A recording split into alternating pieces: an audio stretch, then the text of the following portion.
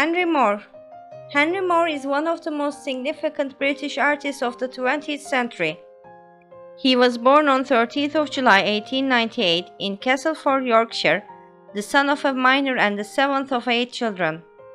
As a schoolboy, Moore showed a talent for art but was encouraged to train as a teacher first. He did not enjoy teaching and signed up to serve in the British Army during the First World War. He was injured in 1917 by a gas attack during the Battle of Cambrai. In 1919, thanks to an ex-serviceman's grant, Moore became a student at the Leeds School of Art. He went on to attend the Royal College of Art in London in 1921. Moore later taught at the college and met Irina Radetsky, whom he married in 1929. Numerous commissions and exhibitions in 1930s enabled Moore's reputation as a leading avant-garde artist to grow, but in 1939 war broke out again.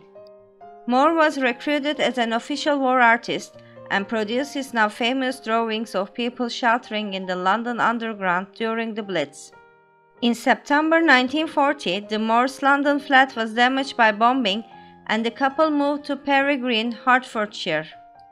Hoglands, a farmhouse in the hamlet, became home for the rest of their lives. Their daughter Mary was born in 1949. Over time, Moore developed outbuildings into studios and Irina created beautiful gardens. Landscape was important to Moore and his work is often associated with nature. The human body is another recurring motif in the artist's work and in Perry Green the analogies between the body and landscape could be readily explored. International success characterized Moore's career from the 1950s onward. In 1977, he established the Henry Moore Foundation to encourage wider enjoyment and opportunities in the arts. In August 1986, Henry Moore died in Perry Green.